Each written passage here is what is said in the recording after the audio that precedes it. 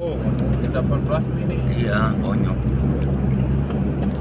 Paling nambahin sepaket lagi 15. Katanya nggak mau kita mau kasihan sama mobil.